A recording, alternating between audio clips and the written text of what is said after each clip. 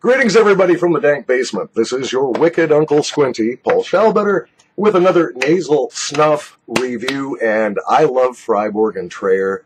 Um, so many of their snuffs complex, elegant, real old school, real British toff, you know, with the, the snuff box and all.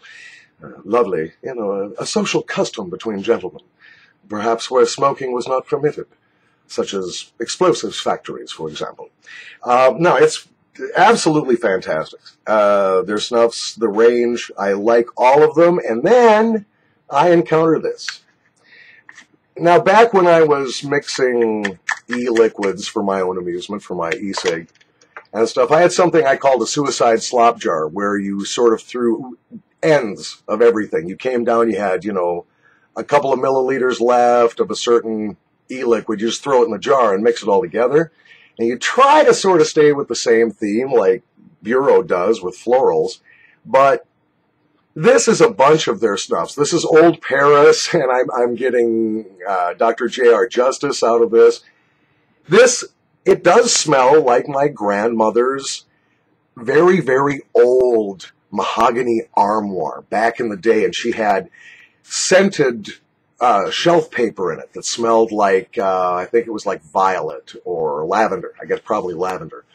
And the smell of all her various perfumes, and it's a lovely smell. It's a very elegant, old school, and it just you get lost in it. Um, this would not be an everyday snuff for me, I don't think, but I'm going to give it a second look here in front of you, and we're going to see what we've got here. Typical of Fribourg and Treyer, the grind is somewhere between medium and fine. Uh, this is a very moist snuff. It clumps nicely when I poke, take a big pinch out of it and squeeze it between my thumb and fourth finger. It kind of hangs together, right? I guess it didn't. it's all over me. I got snuff all over me. Okay, let's see what we got here. I got a big woof here. I hope it doesn't kill me. Let's see what we got going here. Yeah, the uh, initial aroma is a sort of a mixed floral. There's some linen in there. There's a tiny, tiny hint of a bergamot or some citrus, but very small. There's tonka, tonkin in here, tonka bean. I'm pretty sure of it. A lot of lavender. Yeah.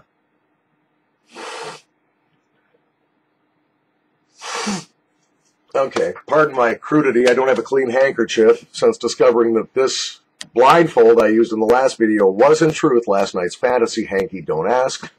How do you think I went blind? Um, at any rate, uh, yeah, this would not be an everyday snuff for me. It is delightfully complex. I mean, that sounds very, uh, artsy fartsy when I say that. Well, it's delightfully complex and overtones of Tai Chi Chuan and Feng Shui. It's a, it's a completely lovely British snuff. It makes you want to kiss the Queen's left labia. And, uh, come on. I'm not English. I can't pretend to be one, not even with this. But it does recall an era that I wish I could have lived for a while, maybe. Uh, and it does remind me of my grandma's house. and for sentimental reasons. Not an everyday snuff, but a once in a while delightful nose freshener.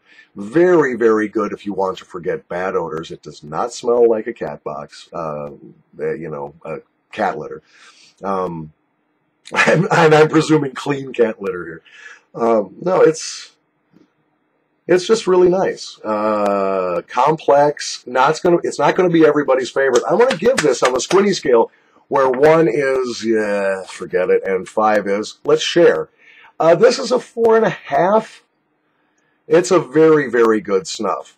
Not everybody's cup of tea, but uh, not bad. From the dank basement, this is your wicked Uncle Squinty, Paul Shallbetter. Thanks for watching. Thanks for subscribing. Thanks for pushing the button. Eventually, I'll be able to monetize these and finally be able to pay for my psychiatrist. Thanks again for watching.